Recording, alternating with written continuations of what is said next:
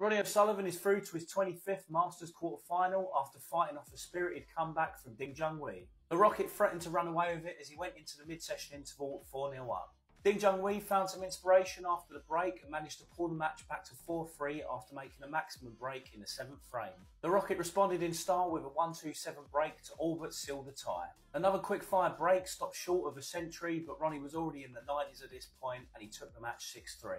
I thought Ronnie looked good and considering his last official tournament was back in the UK Championships in December, he looked alright and certainly wasn't rusty. Ronnie didn't completely put his cue down over Christmas. He played in the Macau Masters late in December and he also did an exhibition with Ding. However, these were in China, so he's probably suffering from a little bit of jet lag. Either way, it certainly didn't show in his performance. At the end, Ronnie was his usual self-deprecating self, saying his cueing wasn't there and he felt tense at the beginning of the match. But it is the first round of a Triple Crown event. What do you expect? You've got to feel the pressure. I think Ding just let himself down in the first half of the match today. If he'd have made that 1-4-7 and say he was only 2-0 down, it would have gone 3-2 up and I think he would have gone on to win.